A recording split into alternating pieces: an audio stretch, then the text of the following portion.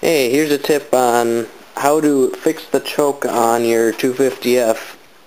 This is a problem that I've had with all the YZ250Fs I've had. I've, well, not all of them, I've had about four of these, and I've had to do this on, I think, three of them. It's when the choke knob, it doesn't stay out, it just goes back in like that. And to fix this problem without buying a new choke knob, you just take a tie strap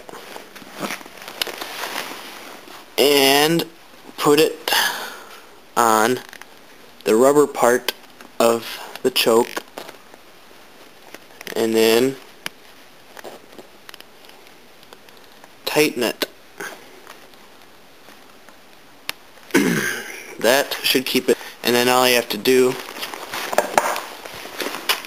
cut off the excess of the tie strap that you don't want. And now the choke stays out. Voila